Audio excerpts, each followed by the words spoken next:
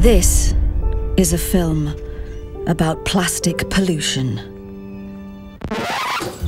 Actually, it's about solutions. OK, what do we mean by material circulation? Well, if eliminating the packaging doesn't work, and reusing things doesn't work, then at least the materials should stay at work. The thing is, a lot of stuff isn't made to be remade. So, we have to go back to the start. Take recycling, for example. If we mix materials, it's hard to take them apart and even harder to recycle.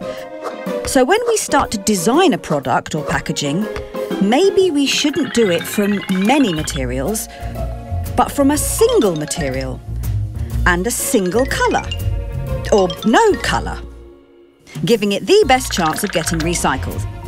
And it doesn't stop there. We need a system too, a system for collecting, sorting, and in this case, recycling. So, if you're looking for packaging solutions, read this guide. It's out and it's free. So get your copy. They're circulating.